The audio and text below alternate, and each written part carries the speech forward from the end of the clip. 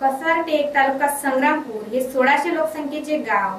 येथील मुले शिक्षणाकरता रोज जीवनमरणाचा संघर्ष रहा संघर्ष की हम चुने एकीकडे आपल्या भारत देशाची जागतिक महासत्ता होण्यासाठी वाटचाल असताना त्याच्याच लेखीचा शिक्षणासाठी असलेला संघर्ष सुद्धा पाहण्यास मिळत आहे.